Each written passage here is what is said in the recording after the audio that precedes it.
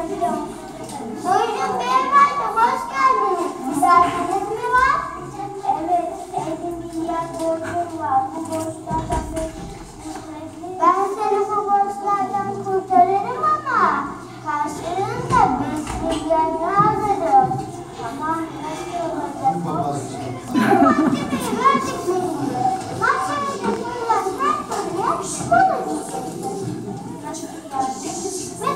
Ne dedik şimdi?